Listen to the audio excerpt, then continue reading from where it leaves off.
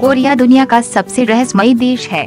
परमाणु परीक्षण करके नॉर्थ कोरिया ने कई देशों की भूमि तानी है, लेकिन कोरियाई तानाशाह किम जोंग को काफ़ी खतरनाक समझा जाता है। वहीं इसके कानून भी बड़े खतरनाक माने जाते हैं। यहाँ उन कामों पर प्रतिबंध लगाया गया है, जिनके बिना रहने की लोग कल्पना भी नहीं कर सकते। आइए जानते हैं कि नॉर्थ कोरिया में कौन कौन सी चीज़ों पर बैन लगाया गया है। ब्लू जीन्स, ऐसा बताया जा रहा है कि नॉर्थ कोरिया ने ब्लू जीन्स पर भी रोक लगा दी। उसके पीछे का कारण है कि ब्लू जीन्स अमेरिकी साम्राज्यवाद का प्रतीक माना जाता है। अल्कोहल हेयर फेस्टिवल या किसी फ़ंक्शन में लोग शराब के एक से दो घूंट लगा ही लेते हैं, लेकिन इस देश में तो शराब पीना ही बैन है।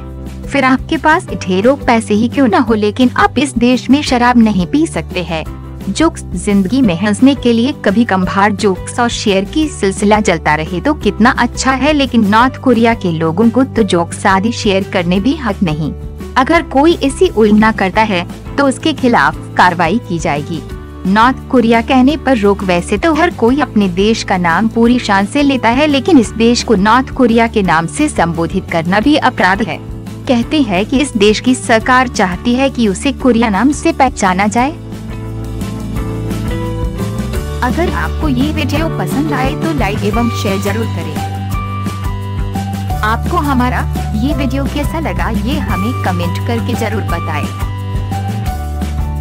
यदि आपने अब तक हमारी चैनल को सब्सक्राइब नहीं किया है तो और भी नए और दिलचस्प वीडियोस देखने के लिए जल्द ही सब्सक्राइब करें